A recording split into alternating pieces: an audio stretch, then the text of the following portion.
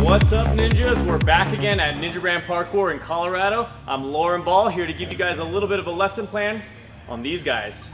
Yeah, you, you know what these are for.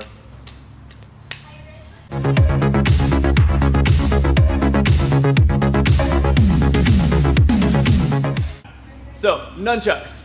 Have you ever gotten up and jumped on this obstacle and just kept sliding? You couldn't quite figure out how to get the best grip? Well, I'm gonna teach you guys today what I've learned from my gymnastics background on how to, how to get the proper grip on this obstacle and also a little bit of climbing knowledge too to help you guys stay up longer on this obstacle and get through it and all the way to the end. So, nunchucks. Any obstacle that requires you to grip that's hanging vertically like this, you're gonna need what's called a false grip. A false grip is a gymnastics term for how they properly hold rings when they're doing the rings event and they're doing the big swings and the giants and the flippies and y'all know what I'm talking about, right? Hopefully.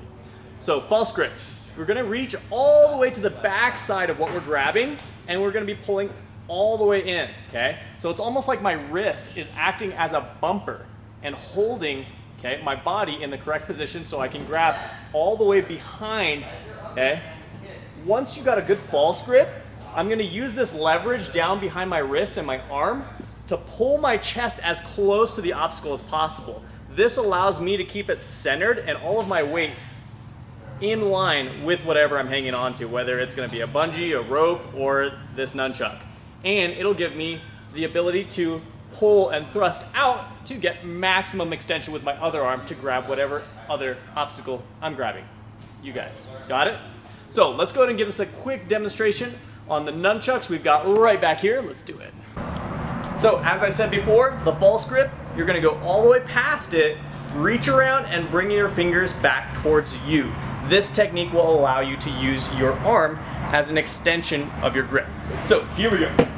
I jump up, all the way around, and that allows me to get a good grip here. So I could, normally I wouldn't be able to hold and lock off, okay? But because my hand is all the way around, I can pull it in close to my chest and give me that extension that I need. So if I'm going this way and trying to get to another obstacle or another uh, nunchuck, I'll demonstrate that.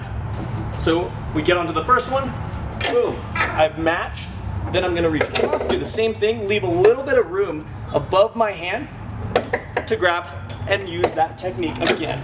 Leave a little bit of room and grab. So when matching, climbing term matching, you're grabbing the same obstacle with two hands, relatively pretty close to each other.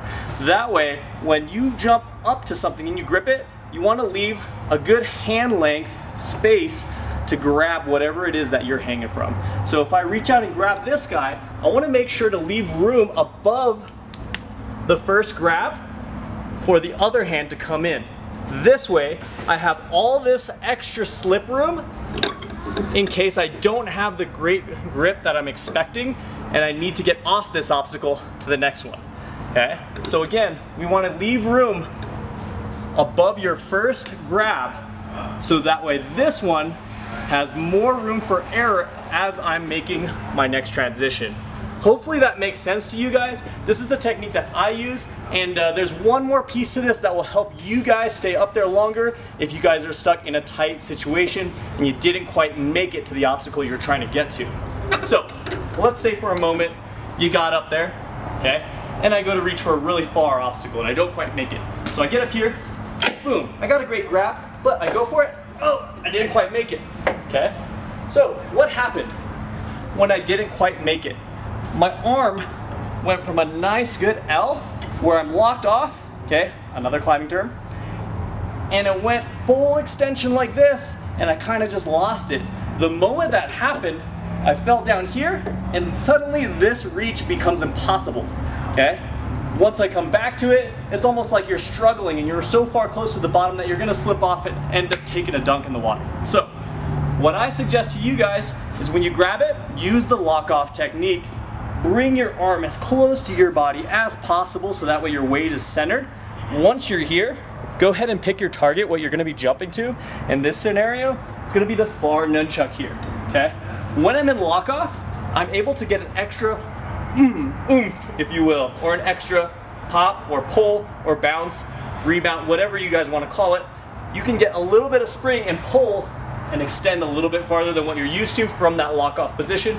And you'll also be able to get a breather while you're here and pick where you're gonna be able to throw your next move. So let's try that technique. I go up. I'm nice and locked off. Then I'm gonna wait till I get the right swing and bounce. Awesome. Boom. And then we can do it again. We can switch it up. Go back the other way. Boom. From lock off. Boom. Notice I'm using that technique where I have room to grab and then switch it up. Okay? So practice going back and forth. You guys want to make sure you're solid on both sides so you don't develop one ginormous Popeye arm like unfortunately I have. So keep it up guys, keep practicing, keep training, and come visit me at Ninja Brand Parkour. If you guys don't have that opportunity, then you guys can keep checking out these sweet tutorials and all the other cool ninja content that we keep putting out. Let me go back in front of the other camera. I hope you guys enjoyed this tutorial. We'll see you guys next time. And uh, be sure to check out all the other cool Ninja content, like some of our travels, events that we've been keeping up with, and uh, some of the things that we're hosting here at our gym in Colorado, just north of Denver. That's Ninja Brand Parkour. Ninja Status, signing off. Be sure to like, subscribe.